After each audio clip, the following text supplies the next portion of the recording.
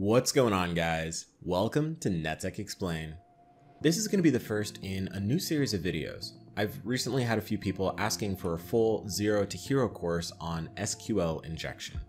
So, in the next three or four videos, I'm going to cover what SQL injections are, how they work, and different ways to exploit them. The breakdown at this point is using this first video to walk through a little background on SQL itself, in the next video, we're going to cover some SQL injection basics. After that, we'll do a deep dive into blind SQL injections. And the last video I have planned will be about evasions and optimizations. While the series is geared towards beginners and advanced users alike, I do recommend that you know at least a little Python by video 3, since we'll be writing our own scripts to exploit the blind SQL injections and optimize our workflow. Now, with that out of the way, let's go ahead and jump right in. SQL, also known as Structured Query Language, is a standard language used to interact with databases. In a SQL injection attack, we try to find ways to inject our own code into a backend query. If we're successful, we can manipulate or steal all of the application's data. For a quick primer on how SQL normally works, I highly recommend checking out W3 Schools. They go over all the common uses and even have practice databases that you can interact with. Links, as always, are in the description below. The other important thing to remember is that there are really three popular SQL servers. There's MySQL, or MariaDB, PostgreSQL, and MS SQL, or the Microsoft SQL Server. Let's walk through some statements together. So first, we're going to start with some basic usage. Uh, I have this first link, which is the basic SQL tutorial, and we're going to click the try it yourself button. So in here, we see select star from customers. And when we run our SQL query, uh, it's going to select all of the rows and columns from the database. If we want to select specific columns, we can enter those values in. So for example, we want to select customer ID and customer name from customers, run the query, and there we go. Now, if we want to select by a condition, for example, let's do select star, but let's do it with the where clause. Uh, and in this case, let's see where customer ID equals three. And now I got the third customer ID. Uh, we can also do this with strings. So say instead of customer ID, we do country. And let's set our country to Mexico. Notice that I'm using single quotes here, and this is usually how it's done in typical SQL fashion. That'll be important later on. But when I run SQL, we can see that it's only selected the rows that have the country set to Mexico. The last thing I want to show you is what are called conjunctions, or basically how we can chain conditions together. So in this case, let's do uh, where country equals Mexico and uh, customer ID equals 3. Run the SQL, and there we go. If I set this to and customer ID equals 4, it's going to fail, and the reason is because there is no record uh, for customer ID 4 that also is in Mexico. Later on, we'll see how we can use this in order to uh, test some truisms. So for example, uh, and 1 equals 1, right? This is a true statement, so it's always going to be true. Uh, we can do and 1 equals 2, which is a false statement and will always be false. And with the AND command, we can also do an OR, so they either have to be in Mexico or the statement 1 equals 2 has to be true.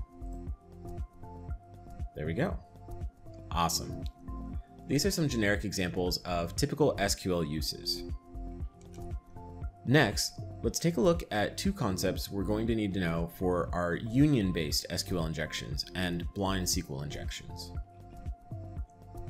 Unions are the first type of SQL injection that we will take a look at. The union operator allows us to add results from other tables onto the results of our first query.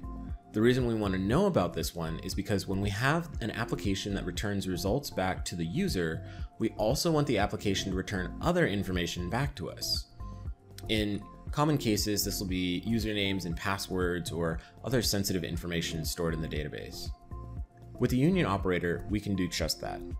Here's an example. I'm going to go to the union page in W3 schools. I'm going to scroll down to the try me section and try it ourselves. So here we see select city from customers, union select city from suppliers. And we're going to order by the city. That means to sort alphabetically by the city. To make things a little easier, I'm actually going to add in a couple columns. So I'm just going to say select one and select two. So run the SQL injection and we can see some of the results where they belong to the table users as shown by this one uh, and others that belong to the table suppliers as shown by this two. The most important thing about union SQL statements is that the number of columns between the first and second query must be identical. If not, we're going to get an error, like this. So if I change this to be select star from customers, we're going to get a different number of columns. Uh, whereas our second query, select to and city from suppliers, is only going to return two columns. So run the SQL, and here's our error. The number of columns in the two selected tables or queries of a union query do not match. During our discovery phase, we can test the application to see the number of columns the first query returns using the order by operator. So if I was to uh, delete all this, I would say order by, and then we can just guess the number of columns. Uh, so if I did order by four, it's going to sort by column number four. Order by sorts the result based on the numbered column, so we can keep guessing the number of columns until we run into an error.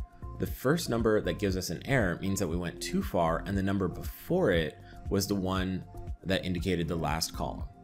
So if I did order by six, no errors. Order by seven, no errors. Order by eight, error. So this tells us that seven is the number of columns in the first query. So we have to select seven columns when we perform our union for this statement.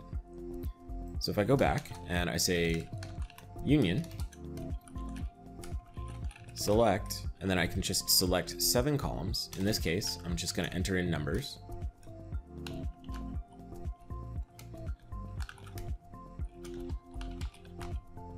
And then I'm going to continue with the order by city.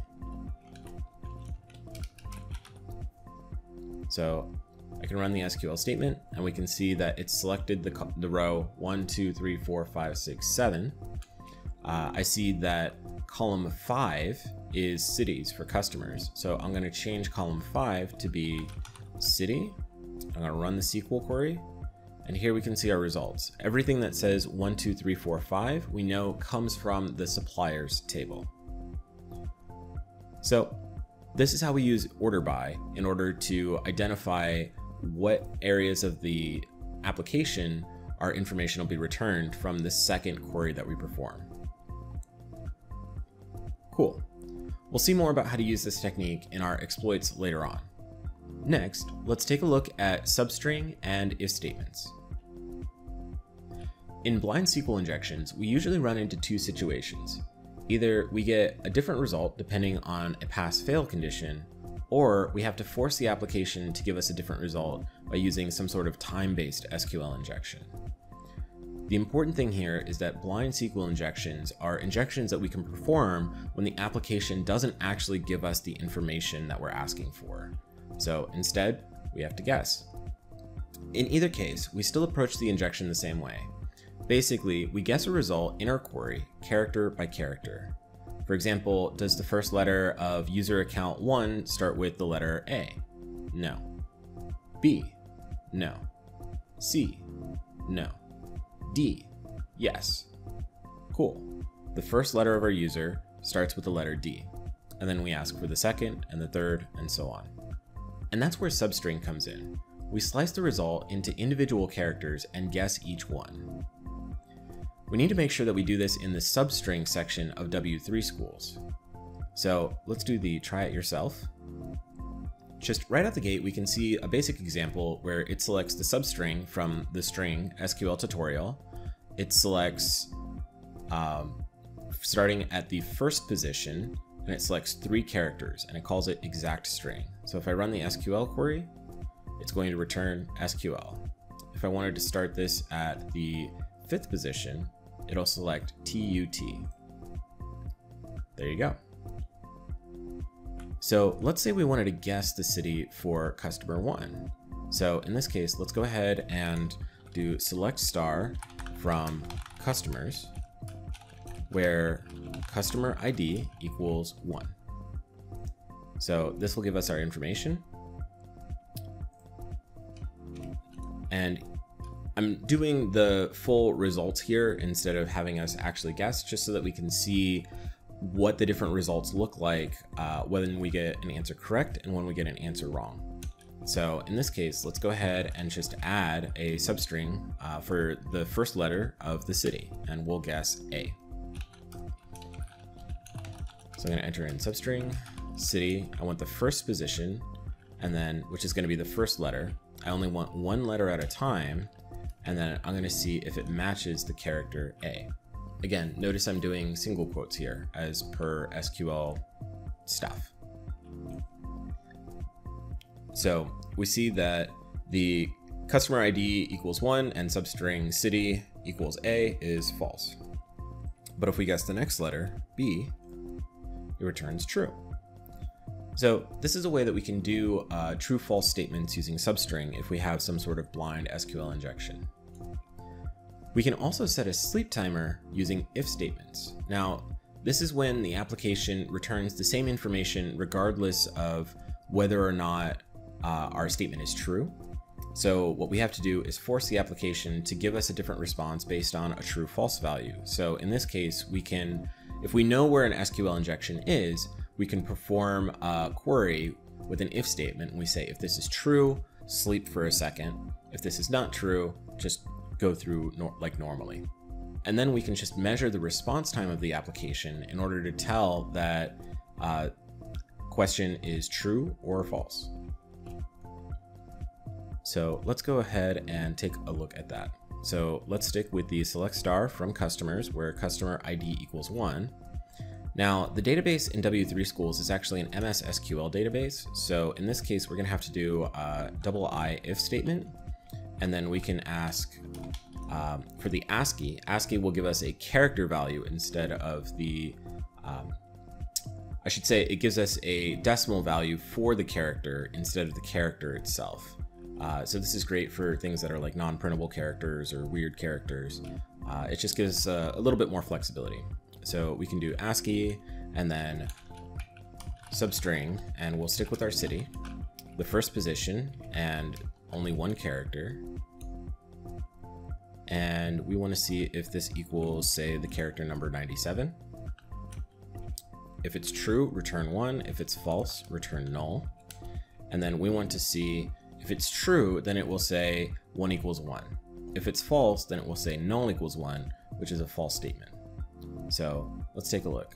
If this is true, we run the SQL query, and here we have an error. Let me take a quick look, make sure that have everything set. I did not, I was missing a parentheses. Let's go ahead and run the query. And the number of records is zero. So at this point, we can play the game higher or lower. So we made the initial guess, uh, character number 97. Now we can ask, is uh, the value of that substring greater than 97? Run our query, we still get no. And then we can ask, is that value less than character number 97? We return our record, and the answer is yes. So we know that it's not 97, so we can guess a lower number. Uh, in this case, I know what the actual number is, but I want to show you that there are no tricks up my sleeve, so I'm going to do the incorrect guess of number 67. It's going to say false, and then the correct character number, which is 66, it's going to return true. Now, where I'm getting these numbers, you can look at any ASCII table and it will tell you the hex value, the decimal value, and the string value of what this character is. So in this case, a capital B, it correlates to the number 66 in decimal. Awesome. Well, that's all I have for you guys today. In this video, we did a brief introduction to SQL and some common uses that will apply later on. In the next video, We'll get started with a basic SQL injection and do a deeper dive into how they work. In the meantime, check out the links in the description below for the resources I used here, and don't forget to like and subscribe to see more videos like this. I'll see you next time.